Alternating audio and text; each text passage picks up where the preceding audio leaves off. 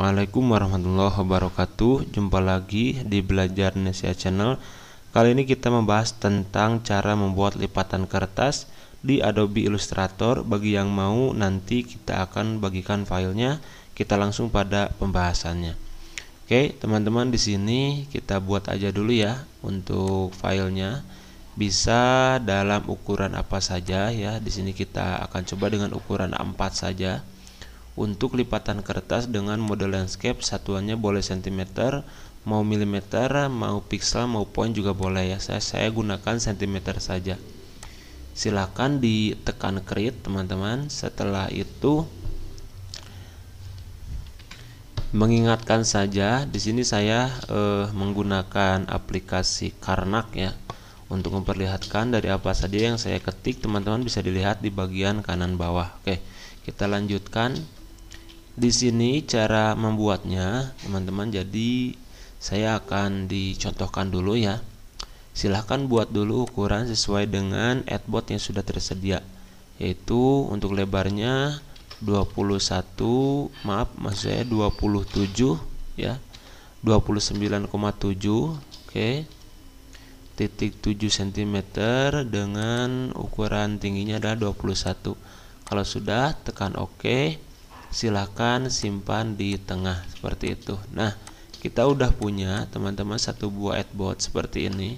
Biar lebih kontras ya kita gunakan saja warna abu-abu teman-teman. Nah supaya kelihatan nanti e, pekerjaannya. Oke kalau sudah seperti ini sekarang e, saya copy dulu ya. Yang ini di copy dulu. Mana tahu nanti kita membutuhkan lagi kita di kontrol 3 untuk menghilangkannya teman-teman. Oke di sini silahkan teman-teman bisa menggunakan beberapa cara. Salah satunya adalah dengan menggunakan pencil tool ya. Di pencil tool klik dulu dua kali. Nah, di sini di bagian pencil toolnya di bagian option ini adalah e, smoothnya teman-teman dan ini adalah bagian withinnya. Jadi e, detailnya itu tergantung dari dua parameter ini ya salah satunya. Kalau sudah seperti ini saja disimpan di area paling bawah. Oke. Setelah itu silahkan gunakan pensil tool dan digariskan teman-teman. Digariskannya mau diagonal ya ataupun mau lurus atau ke pinggir dan boleh silahkan saja.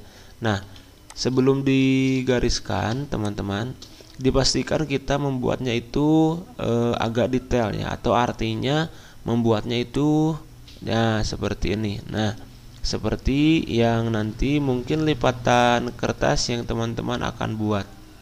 Selain daripada itu juga teman-teman mungkin agak kesulitan jika menggunakan mouse ya karena mouse tidak dirancang untuk membuat hal detail ini kecuali dengan cara yang lebih sulit mungkin ya seperti itu. Oke. Nah, kita buat dulu. Ini adalah contoh dari e, lipatan li, sobekan ya, maksud saya sobekan kertasnya ini teman-teman boleh kita dibuatkan miring juga boleh. Nah kalau sudah seperti ini kita bisa ditambahkan detailnya ya karena pada dasarnya di dalam eh, sobekan kertas itu tidak beraturan dan tidak lentur seperti ini ya mungkin ya. Jadi lebih kasar atau lebih meruncing. Nah kita bisa menggunakan ada yang namanya efek ada distort dan transform ada raugen teman-temannya jadi efek distort dan transform ada Raugen. Nah, yang ini teman-teman. Di sini bisa kita lihat, kita bisa tambahkan detailnya dan size-nya kita kurangi lebih kecil. Nah, satuannya persen bisa kita coba di area yang paling kecil misalkan 0,1. Nah, seperti itu. Kalau belum kelihatan bisa ditambah lagi 0,5 misalkan. Nah, seperti ini sudah kelihatan ya untuk efeknya teman-teman dan untuk detailnya masih bisa ditambah. Oke, seperti itu. Nah, kita coba di preview dulu. Nah, ini adalah eh, kertas sobekannya yang lebih runcing, teman-teman bisa dilihat. Yang biru ini adalah garis yang aslinya, sedangkan efeknya itu adalah yang dibuat pada eh, garis-garis runcingnya seperti itu. Bila mana eh, teman-teman ingin mengkontrol ulang, kita bisa masuk pada menu appearance ya di sini ada efek Raugen. Nah, ini bisa ditambahkan kembali, teman-teman. Seperti itu. ini kita kurangi kembali misalkan 0,2 kita previous dulu supaya tidak terlalu meruncing ke atas nah jadi kurang lebih seperti ini ya oke seperti itu nah ini e, saya rasa cukup teman-teman untuk sobekan kertas ini dan kita bisa diduplikat dulu ini ya duplikat dulu.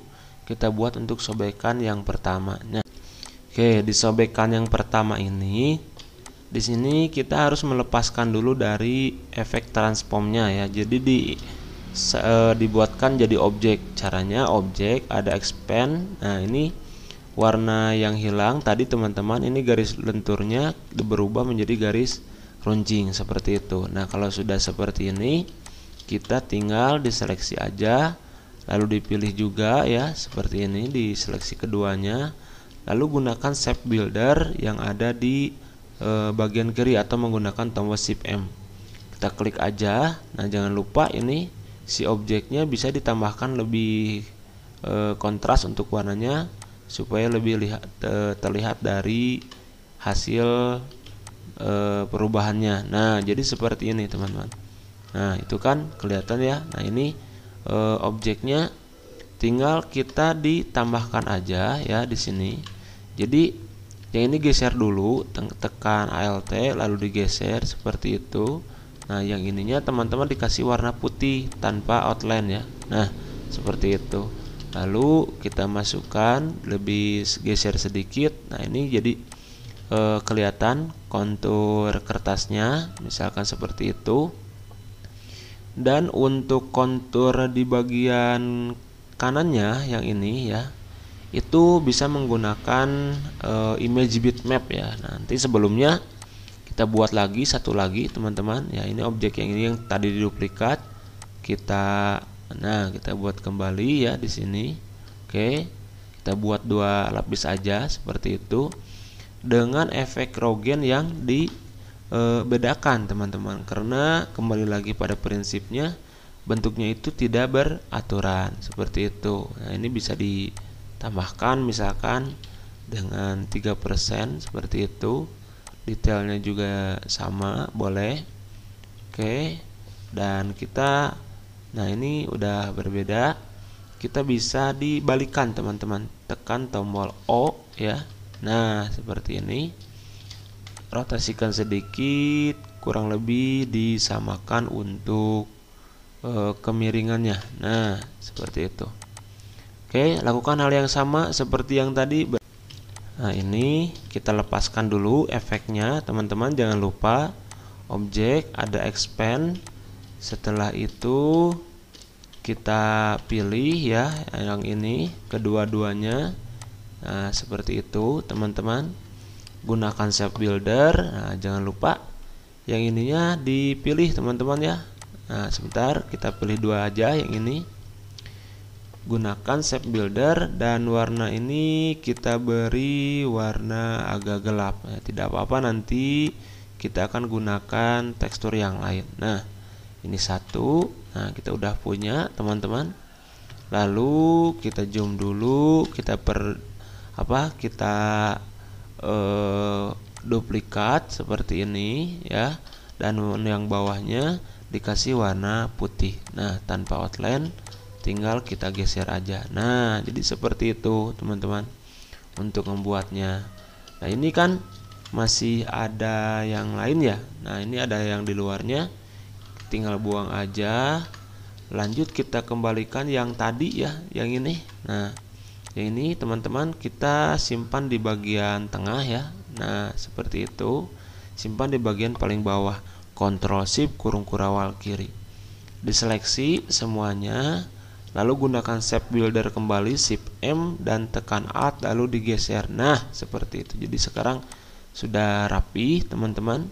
Tinggal kita dibuatkan untuk konturnya. Nah, untuk kontur sendiri saya sudah mendownload dari unflash.com ya. Nah, di sini ada beberapa konturnya ya, teman-teman bisa dilihat aja di sini ada unflash.com. Nah, misalkan kita pilih dua aja jadi tinggal kita drag ke dalam ilustratornya seperti itu. Lalu kita geser dulu. Nah ini teksturnya mau yang mana teman-teman? Misalkan mau yang ini dulu ya. Nah cara mudahnya itu dengan turunkan dulu ke bawah kontrol shift kurung kurawal kiri seperti itu dipastikan semua area objeknya itu sudah ada di, di dalam uh, tertutupi ya. Nah yang ini karena kita akan menggunakan kontur yang ini.